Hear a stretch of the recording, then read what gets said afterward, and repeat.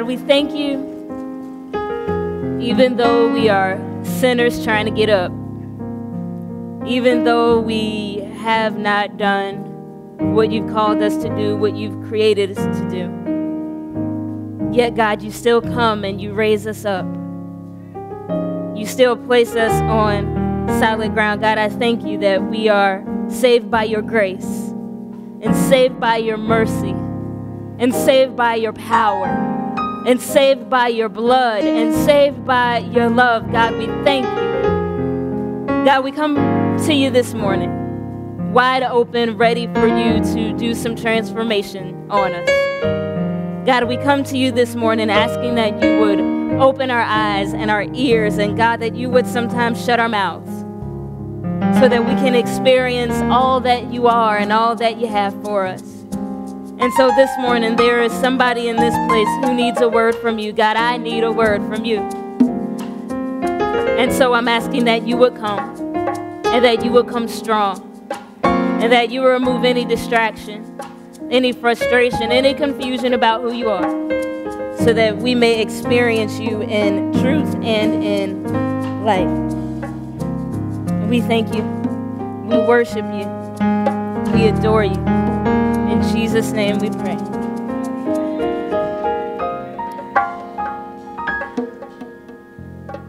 Psalm 51 is written by King David. Who knows about King David? Anybody know about King David? I think more of you know about King David. Anybody else? Yeah. King David's story in all of the Bible is one of the most intriguing, interesting, scary, wonderful stories in the Bible. I mean, he is quite a guy. He's quite a guy. Earlier at 8 o'clock, uh, Richard talked about Empire. Does anybody want to admit that they watch Empire? There you go. Empire. And how the story is so um, messy and it's so good and it has so many twists and turns you don't know what's going to happen. There's murder and and all kind of just craziness going on and every week you watch you go what madness will they come up with next? Guess what? That's already been done and it started with david. David's story is like this. When you read about david you wonder what is this man going to do next? And so we find david right now talking to the prophet nathan. And david has done some real griminess up until this point David um, has slept with somebody else's wife. This is the part where you say, oh. okay, I need drama, y'all. Y'all get, I need drama, okay? So David has slept with somebody else's wife. I love it. I love it. Because you know that's what you do when you watch a good show, right? You, ooh, I talk back to the TV. Move, lady, run. No. David saw this wonderful, this beautiful woman on a terrace uh, next to his. Her name was Bathsheba. He sees Bathsheba and he just has to have Bathsheba. I mean, he really, really will do whatever it takes. The only problem is Bathsheba just so happens to be the wife of Uriah. Yes, I know. Now, Uriah is uh, one of David's uh, best soldiers. He's one of David's best warriors. He has been faithful to David, but David is, that's all out of David's mind right now. He just sees Bathsheba on this terrace. I don't care about Uriah. I don't care about the fact that I'm the king. I want her. And so, as uh, David does, he gets what he wants. And he goes. That's what I'm talking about. He goes. He gets Bathsheba. He sleeps with Bathsheba, and Bathsheba gets pregnant. I knew it. And you knew it was coming, right? She gets pregnant, and David panics. Oh boy, what do I do now? What do I do now? And instead of going to God immediately, he decides to come up with a plan. Comes up with a plan. I know what I'll do. I'll get Uriah killed. I'll get him killed. Oh, I know. Yeah, I'm going to get Uriah killed. Um, and then nobody will ever know that, that I slept with her. It'll look like he slept with her. But before I kill him, maybe I'll try something different. When he comes from the battleground, I'll just tell him, I'm the king, he'll do what I say. I'll just tell him, go sleep with your wife.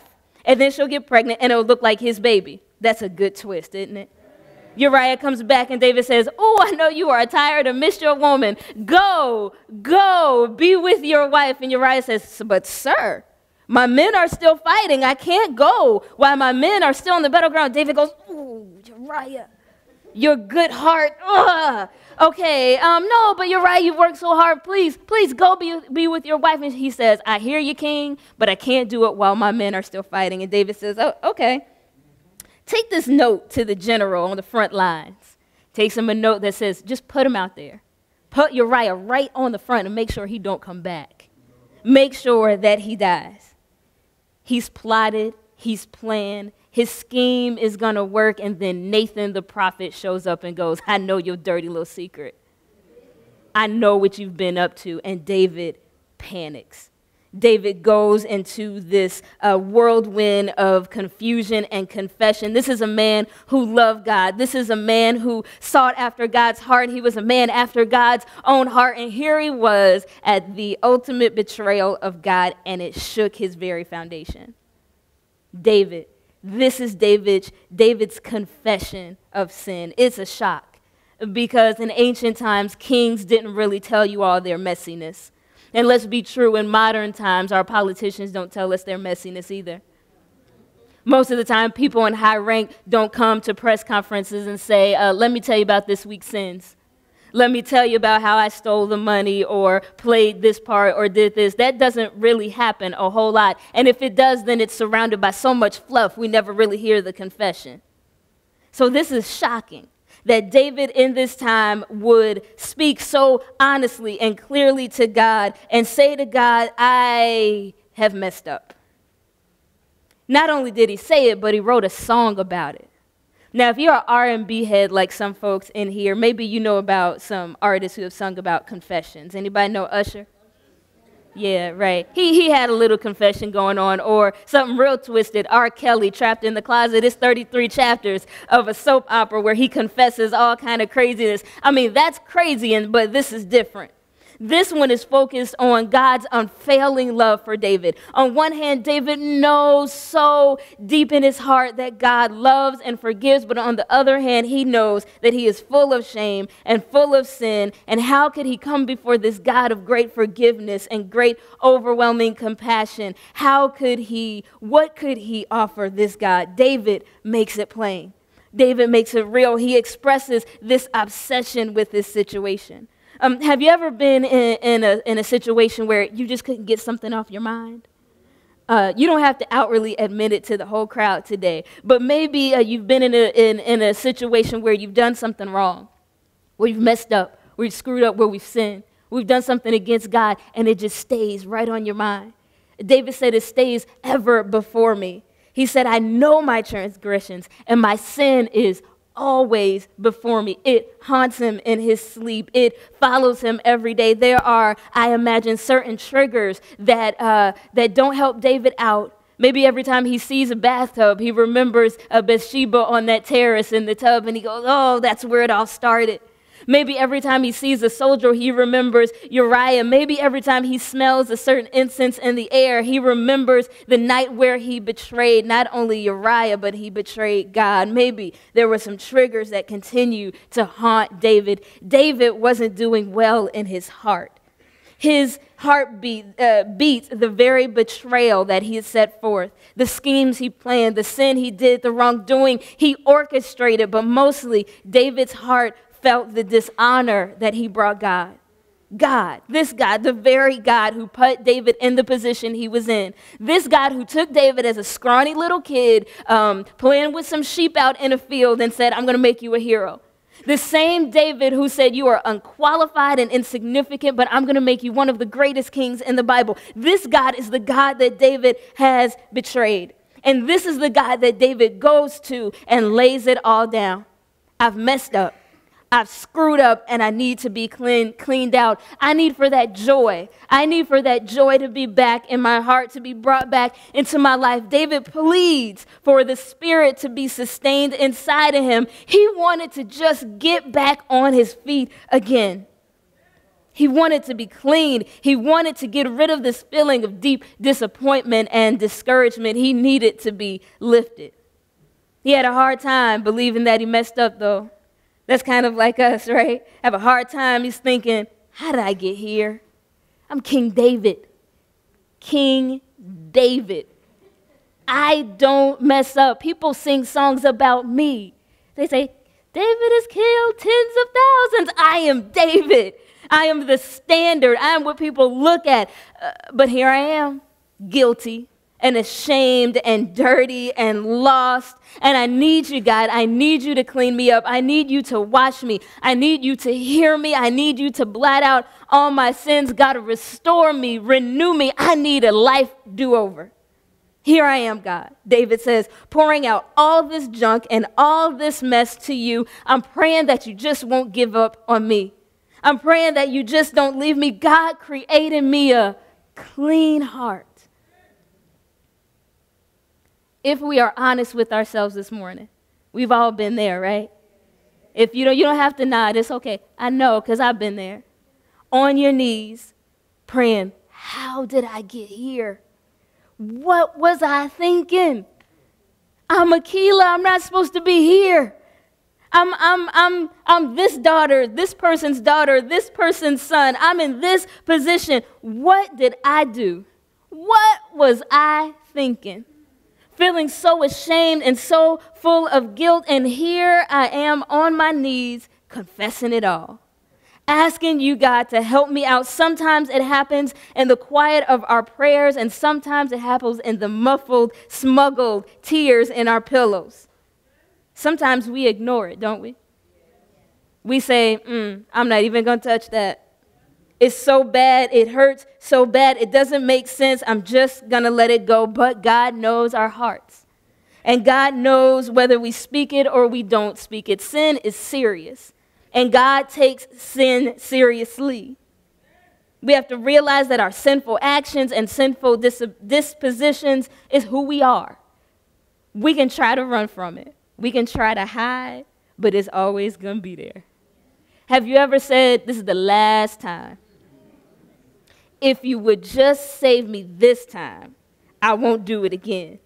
And then we do it again and go, okay, really? See, that last time was just the, the pre last time. This is really the last, last time. And then you find yourself, even a couple of years later, saying, okay, see, I wasn't mature enough then, but now I understand why. Over and over and over and over and over again, it happens. It creeps in slow sometimes, slow and quiet and smooth, uh, but sometimes it comes in like a roaring lion and it takes us over. We don't want to sometimes, but we do it anyway.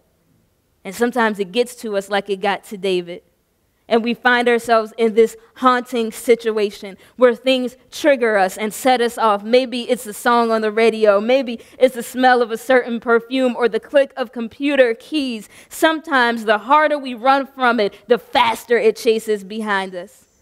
And we say to ourselves, I am so ashamed. I am so guilty. I am so dirty. I am so lost. I need you, God.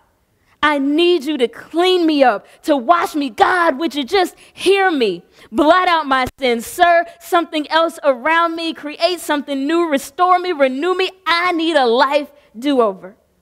Here I am pouring out all of my stuff, all of my mess, just asking you to don't leave me here alone. God created me a clean heart so that I can serve you, so that I can follow you. As I reflect on the sermon so far, I'm reminded of two affirmations from the Word of God. First, that there is therefore now no condemnation. And second, that if we confess our sins, He is faithful and just to forgive our sins and cleanse us from all unrighteousness. Let's tune in and hear how we can move from confession to cleansing. I don't know where you are in this season of your life. I don't know what kind of Lenten journey you've been on, but I can imagine that all of us have some wounds. And all of us have some gaps and some holes where sin has and is creeping in. Maybe it gets worse the further you push it aside. Maybe it gets worse the, the more you pull it in. But may I suggest to you that you are uncomfortable and that you're in this season because God is in the process of cleaning you up. May I suggest to you that maybe you're at the beginning of the process where God can start pulling out some grime and some dirt and some yucky so that He can get us to a place where He wants us to be. So that we don't spend our days wondering, how did I get here? What did I do? Let me drop this little something into your spirit. Maybe God is creating room for you to bring that joy back and to have a restored life. Maybe you've lost all hope and you fear that you're going to be down forever. Maybe you're down. Maybe you're crawling and crying, and we can't see it on the inside because from here, everybody looks actually really good. But maybe there's something so deep underneath all the beauty products and, and, and wonderfulness that we see on the outside. Maybe there's something on the inside. Let me offer you this glimmer of a nugget of God that God is still a God of forgiveness, and God is still a God of hope, and that even if you're down, you can get back up again. That song was more than just a song, it's a reality that you don't have to stay down just because you're down there, but that God can raise you up. St. Peter of Damascus said this Should we fall, we should not despair, and so estrange ourselves from the love, the Lord's love. Let us always be ready to make a new start. If you fall, rise up. If you fall again, rise up again. This beautiful song of confession and cleansing and prayer and praise and disappointment and joy from David helps us to see that our hearts, if our hearts would just open up for a minute, that God can reach inside and change some things so that we can get off of our knees so that we can stop crawling and stop uh, pulling our way through the dirt and the grime. With eyes filled with tears, we can confess our sins to God and He won't strike us down that if we would just open up and be honest to God about who we are and where we are, He can do something good. That we would set aside the fact that we think we're so holy and so good and so righteous and so honorable and be humble enough to come to the foot of the cross and say, Jesus, here I am. What will God do for us? We will sin again. Guess what? No big surprise. It will happen again. We will fall again. We will come crawling back again. And every single time, God will be there. God will be there to wash us up and pick us up and stand with us and set us forth. And sometimes He'll be there to pull us back and sit us down and shut us up. But no matter what He does, He will always be right there. David. David offered this broken heart to a healing God. What do you offer today? What do you offer today? What am I offering today? David asked for restoration of his soul, of his spirit, so that he can sustain this journey. What do you need to go on in this journey? David laid down all of his mess before the very feet of Jesus and declared his own sin and his shortcoming. What do you need to lay down today? What do I need to lay down today? If you want to get back up again, there's a way, and it starts with confession. There is a process, and it starts with us being honest and being open and not being afraid that God's going to turn it into something weird. That's not the God we serve. The God we serve is a God of forgiveness when we come to Him honestly and openly. You can have another chance. You can experience God's joy. You can feel the Spirit changing something inside of you, and it can start today. It can start with the simple, open, honest, real, authentic act of confession. It has to start with confession because that's how cleansing happens. And at some point, when God starts to work on us and clean us out, when He fixes our heart, we can be used by Him. We can be used by Him. That's what all of this is about. It's not so much that I can have a clean heart and then I look good and I feel good and I feel healthy and strong. It's so that we can serve Him later, so that when we see somebody else who's down, we can go and pull them up. So when they get up and I'm down again, they can pull me up or they can say, Together, let's go pull her up or let's go pull him up. It's not about us. It begins with confession, it moves to cleansing, and then it moves to serving. That's what we are here for. Lord, give me a clean heart so that I may serve thee. Lord, fix my heart so that I may be used by you, for I'm not worthy of all your blessings. Give me a clean heart so that I'll follow you. We are not worthy. We are not worthy of the goodness that God bestows on us every single breath we take. We're not worthy of it, but He does it anyway. We're not worthy of his love and his abundance, but he does it anyway. And so, why wouldn't we open up to him? Why wouldn't we tell him everything, everything, so that he can clean us up? This morning, I do want to do an altar call. I want to do it a little differently than we've done before. Um, usually we come to the offer and then everybody turns this way and everybody who remains seated can see what's going on. I, I want to do something different. I want us to actually come to the cross this morning so that when you come up, don't turn that way, but focus your attention here so that we are reminded that this is where we should always come that this is the place where real cleansing happens. This is the place where, where real restoration happens. This is the place where, where real love happens. This is the place where real sacrifice happens. This is the place that you come.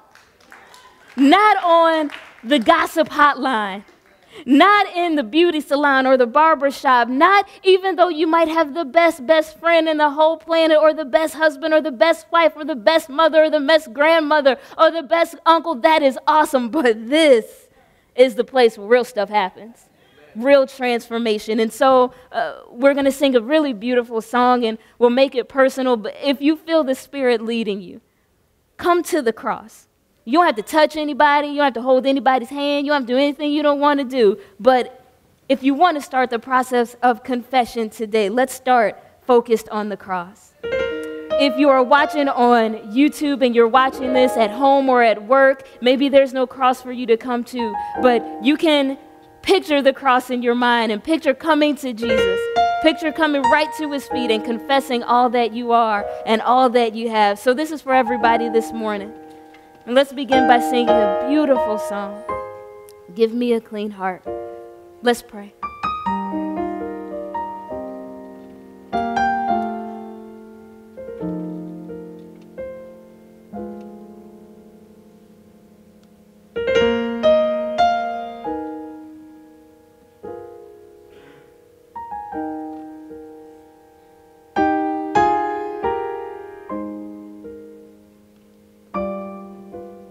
God, we open this altar for your sons and your daughters.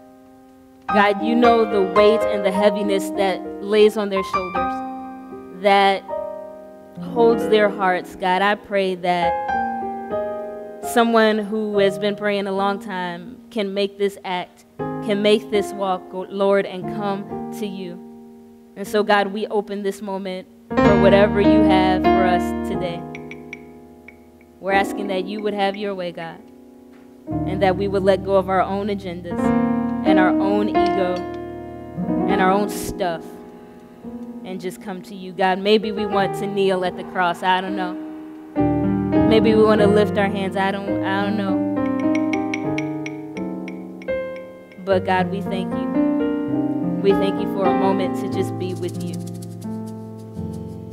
The altar is now open.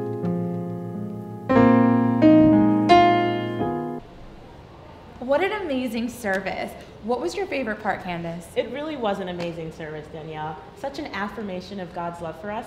I think my favorite part was just this idea that we can mess up so many times, but as long as we confess our sins to God, He'll give us a clean heart. You're so right. It's such a blessing to be part of this church. Thank you so much for tuning in. Remember, our services are every Sunday, 8 and 10 a.m. You can continue to tune in with us here, or you can come to our church at 89 60 164th Street in Jamaica, New York. Be blessed.